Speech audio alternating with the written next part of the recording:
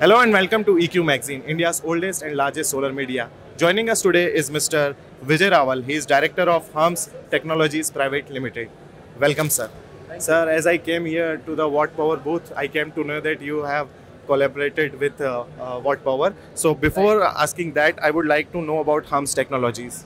Actually, Hermes Technology uh, started in 1998 at Gujarat, Gandhinagar.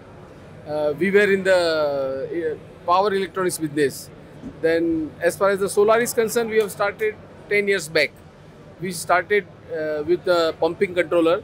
Then, since last eight years, we have been doing uh, EPC and uh, we have been offering the inverters to our customers. And as far as the Huawei or the watt power is concerned, we started two years back only. When we came to know that that our uh, feathers have our cap have one feather missing, which is higher kilowatt inverter. So we look forward and we find out the lot of after a lot of research we came to know that the uh, watt power is a right uh, choice. Will be the right choice. Yeah, and then we have selected it.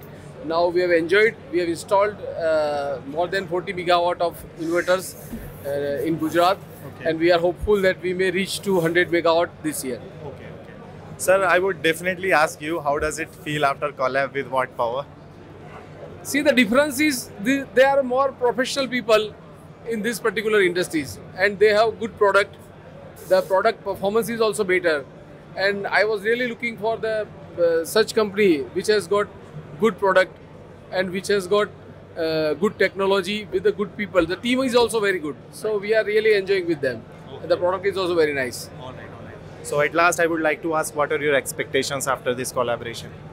Now, Watt Power is going to manufacture the inverter in India. So my customers, even me myself, will get more satisfied. The product will get make in India, and the value addition or maybe the some customization can be possible by manufacturing.